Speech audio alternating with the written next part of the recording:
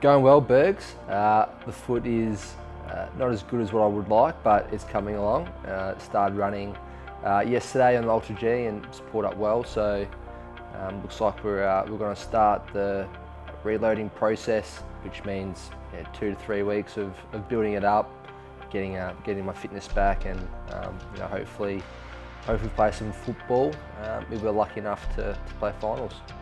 Yeah, I think it presents a really strong opportunity for the boys. Um, you know, you've you want to be playing strong football towards the back end of the season if you if you want to play finals, and I think that's opportunity that presents itself to us now. So I know the boys are really excited about the opportunity. The club as a whole is really excited about the opportunity, and it'll be hard hard watching from the sidelines. But you know what can you do but cheer them on and and try and get the best out of your teammates.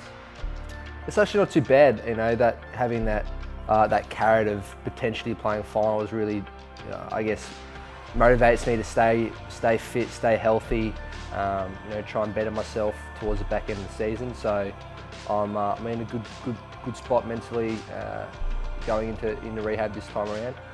Would be a little bit different if there was nothing to kind of play for um, at the end of the year, but there is that opportunity that all going well, the, the team could play finals, and um, you know that's why I've got my, uh, I guess that's my motivation to do my rehab right.